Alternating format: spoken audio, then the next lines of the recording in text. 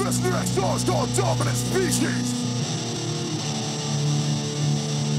And if you're having a good time, put your hands in the air for me real quick. That's real fucking quick.